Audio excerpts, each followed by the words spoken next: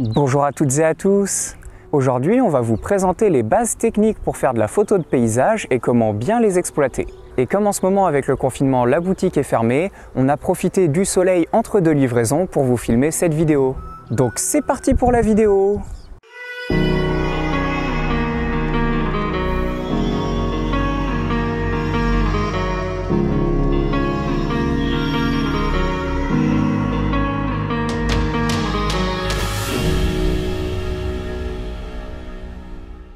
commencer, en photo de paysage, on vous conseille de prioriser le mode manuel de votre appareil photo, car comme il n'y a pas ou très peu de mouvement dans le sujet de votre image, il va être assez facile de prendre le temps de faire tous ces réglages. Normalement, le sujet ne devrait pas beaucoup changer pendant euh, quelques minutes.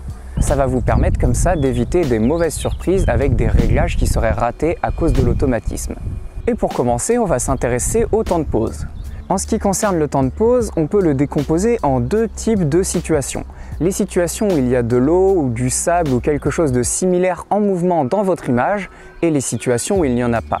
Dans le cas où il y a du sable ou de l'eau en mouvement dans le paysage que vous prenez en photo, on vous conseille de mettre un temps de pause assez lent, par exemple de plusieurs secondes, pour éviter de figer tous les petits grains de sable ou les gouttelettes d'eau en mouvement, ce qui n'est pas très esthétique, alors que si vous mettez un temps de pause assez lent, ils seront floutés par euh, l'ensemble des mouvements de grains de sable ou de l'eau et ce sera beaucoup plus joli.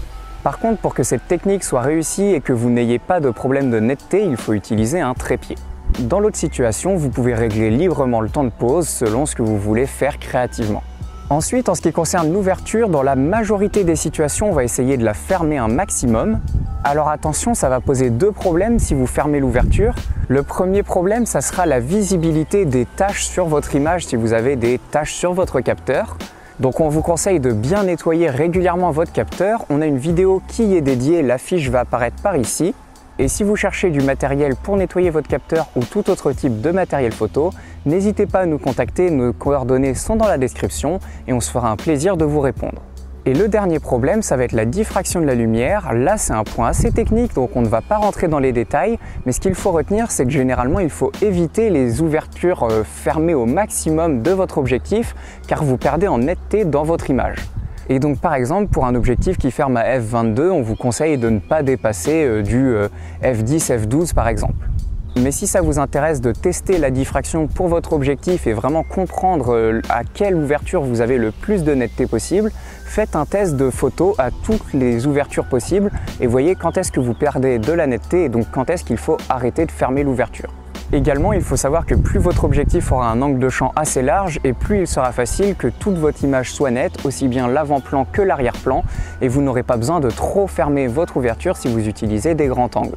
En ce qui concerne les ISO, on vous conseille de les mettre au minimum possible pour éviter de rajouter du bruit dans l'image et donc de perdre en qualité d'image. Par contre, le problème, c'est que si vous utilisez tous les réglages que l'on vient de vous dire, dans certaines situations, vous aurez des photos surexposées, beaucoup trop lumineuses, notamment lorsque vous faites des photos en pause longue, mais comme le but c'est quand même d'utiliser ces réglages-là, on vous conseille d'utiliser en plus un filtre ND, soit un filtre ND fixe si vous avez la possibilité d'acheter plusieurs filtres ND différents pour avoir la meilleure qualité d'image possible, soit un filtre ND variable qui permet de s'adapter à toutes les situations vu qu'il diminue progressivement la luminosité, et ça vous permettra comme ça de baisser la luminosité sur votre image pour éviter d'être surexposé et quand même pouvoir faire vos réglages d'un point de vue créatif. Et comme pour le nettoyage de capteur, on a une vidéo qui est dédiée au filtre ND, donc n'hésitez pas à aller la voir si vous ne connaissez pas le fonctionnement de ce filtre. Ensuite, actuellement, beaucoup de boîtiers commencent à avoir des modes ultra résolution qui vont vous permettre d'augmenter la résolution de votre boîtier. Par exemple, si vous avez un boîtier qui prend des photos à 20 mégapixels, il va pouvoir en faire à 40, 80 mégapixels.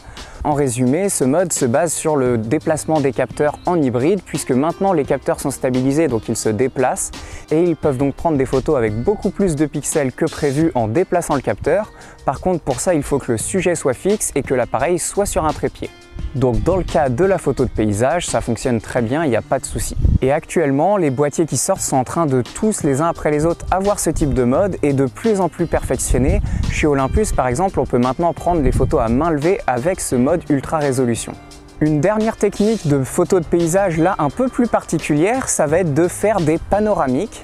Alors il y a deux options pour les panoramiques, soit vous utilisez le mode panoramique de votre boîtier, ce qu'on ne vous conseille pas parce que vous êtes généralement sur un grand angle pour prendre vos photos, donc il y a des déformations et en plus de ça, régulièrement vous n'avez qu'accès au JPEG, vous n'avez pas accès à des fichiers RAW. Et l'autre option, c'est de cumuler un ensemble de photos dans un logiciel dédié. Par exemple Lightroom ou Photoshop, vous avez des options qui permettent de cumuler toutes les photos pour en faire un panoramique. Ça prend un petit peu de temps et ça demande pas mal de puissance à l'ordinateur. Par contre, ça fonctionne assez bien. Et ça va vous permettre d'utiliser une focale avec peu de déformation, par exemple un 50 mm. Et comme ça, vous allez avoir une photo où les proportions sont le plus respectées possible en étant en panoramique. Donc c'est vraiment très intéressant si vous voulez faire des panoramiques d'utiliser ce type de retouche. D'autant plus que vous allez pouvoir travailler après avec des fichiers RAW au lieu d'être sur des fichiers JPEG.